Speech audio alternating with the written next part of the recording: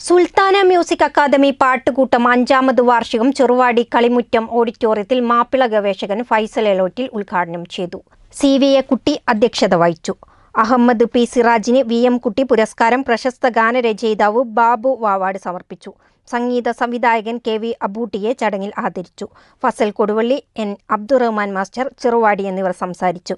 ഇഷലും ഗസലും പരിപാടിയിൽ Ameena Sultana Muhammad Kutty Areekode T K M Koya M C Ashraf Vijayan Keezhissery Kunhu Keezhissery Ashraf Kozhikode എന്നിവർ ഗാനങ്ങൾ അവതരിപ്പിച്ചു.